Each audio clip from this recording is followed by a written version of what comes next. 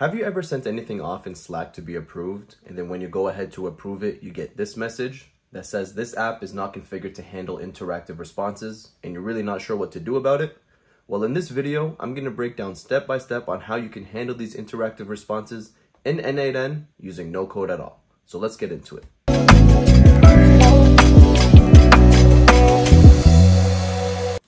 So the first step of what we want to do is go ahead into our Slack API application section and go ahead and select the application that we want to work with. If you have not already created your application, you're going to want to go ahead and create the new app from here. Watch a video on how to do that, then come back to this point. Um, but yeah, we're going to go ahead and select the app that we want to use. And the setting that we want to actually go to or the future is going to be the interactivity and shortcuts one. So once you go into here, you're going to see that it's turned off and it actually gives you a um, simple explanation that any interaction with shortcuts, mo uh, modals, or interactive components such as buttons, select menus, or date pickers will be sent to the URL that you specify. So we can simply turn this on, and when we do that, it says that we need to add a request URL to receive the HTTPS post. So keep that in mind that we're definitely going to need a post node. So once we're at this point, we can actually go ahead and hop into our N8N cloud and start building. So the first thing that we're going to need is going to be a webhook trigger. And once we get a webhook trigger, you can see that we have this very long URL as a get method. We're gonna actually go ahead and select the production URL, and I'll explain why we do that um, in a second. And then also we're gonna change the method to post. And now when you see our path, you can see that this matches up with whatever's here, and we don't need this long clunky name that just means nothing. We can actually go ahead and give it our name ourselves which for this instance, because we're going to be handling with button clicks, we're going to name it button click. And then once you do that, that's all you have to do on this side. So now that you have this URL with this um, shortened, you know, customized um, kind of path, you can click it to um, copy it, go back into your Slack where it asked you for the URL, and simply paste it in there. Once you paste it in there, you want to save the changes and when it comes to anything done in this section, we are pretty much done. We don't actually have to come back into the Slack API apps at all. We simply just have to make sure that we have that URL in this place that you see here, and we are good to go. So now that we have that, we can go back into our um, N8N and we can continue to build. Because from here, we're gonna actually need a code node. And I know I said in the beginning of the video that we're gonna be doing this with no code. Um, so you don't actually have to worry, you don't have to be a really good coder to do this. I'm going to put all of the JSON data and JSON structures down below so you can simply just copy them and add them into your own um, into your own workflow.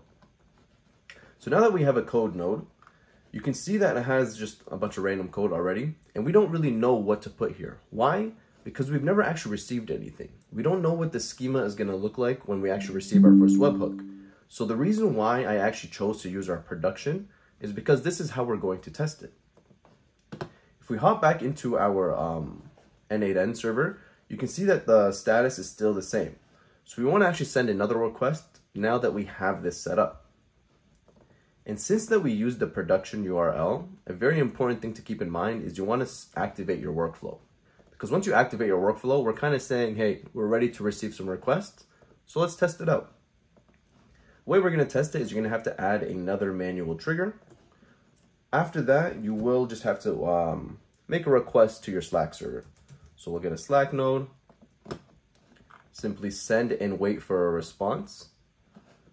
Once we have that, you want to select the correct um, account that you're going to be using. We're going to send it to our channel down here. And we're just going to say testing. We're going to keep the response type to approval, but we are going to change it to approve and disapprove because in this video, I'm going to be showing you how to handle and respond to both. So once we have all this, we can quickly go ahead and test this out. And you can see that it's waiting for our input. So we can go back to our Slack server and you can see the message testing is waiting there. Now that we have this message, we can simply click approve or decline. It doesn't matter. And it says that it got it. And we go back and you can see that we have nothing sent to us. Nothing has been changed, nothing has been done because we have not actually done anything in the coding section.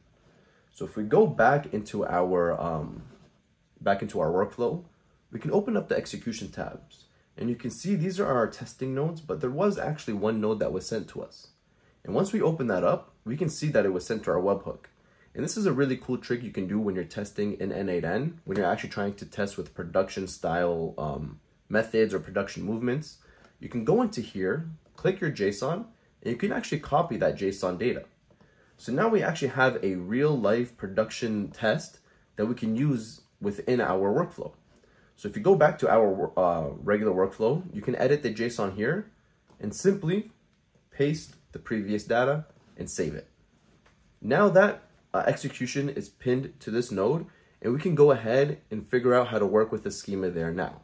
All right, so now that we have our um, payload kind of structured in a way that we can read it properly, the next node that we're gonna need is going to be the HTTP request node.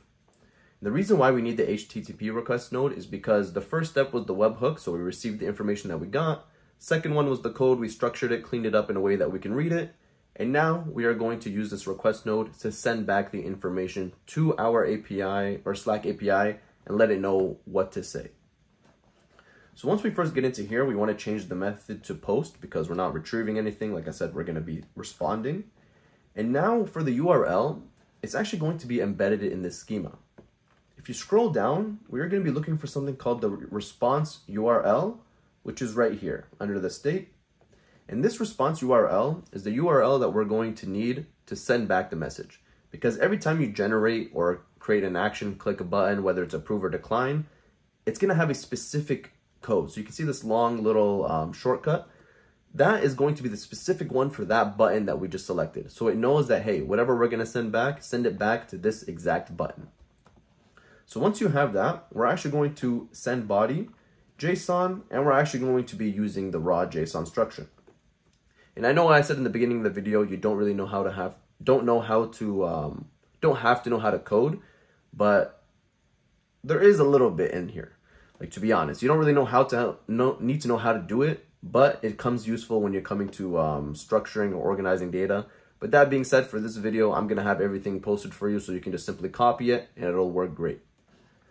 So now that we have that, we can go ahead and get our um, JSON structure. I've already built it out before, so I'm not gonna spend all the time typing it out here. So I'm gonna quickly just grab it. Yeah, I had it hidden down here. Copy.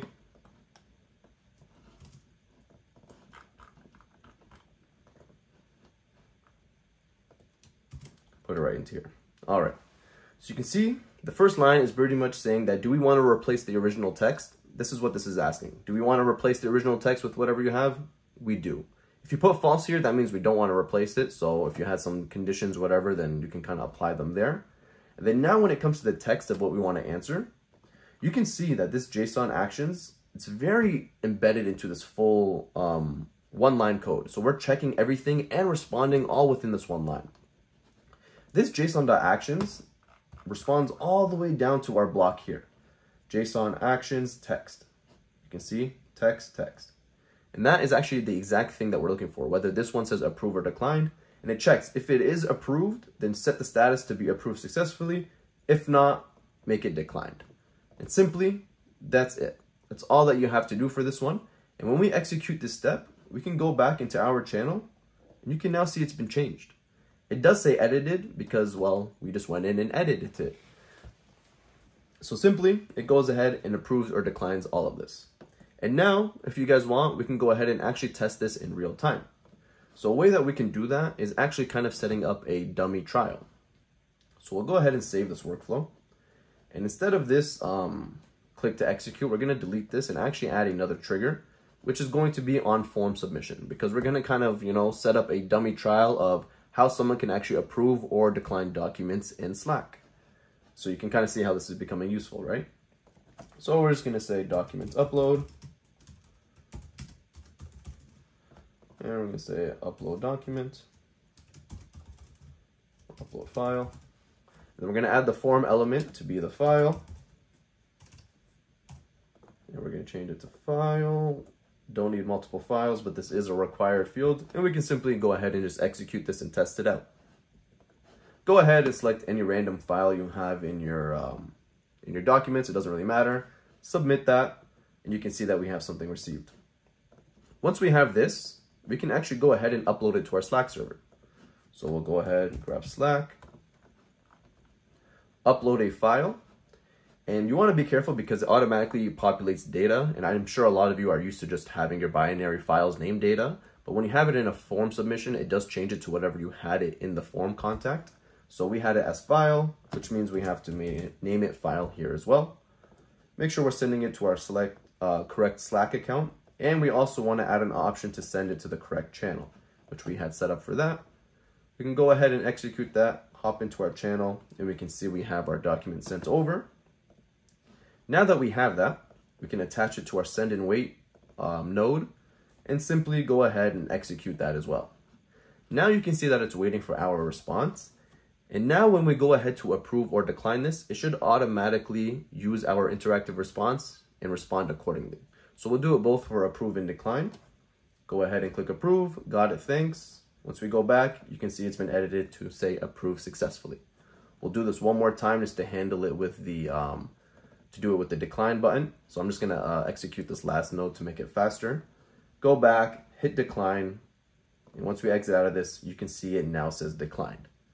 So yeah, this was an easy, quick breakdown of how you could handle these interactive responses um, of Slack within N8N using no code at all. Um, if you have any other questions or want to see any other types or versions of this kind of workflow, comment them down below and we can kind of break them down together and figure it out. If you guys have any suggestions for future videos or anything that you want to see in N8N or not sure how to work something out, message me, leave a comment, um, and we can figure all of that out together.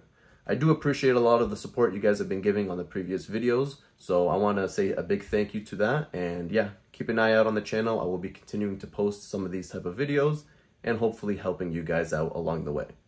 Thank you so much for watching, and I hope you have a great day.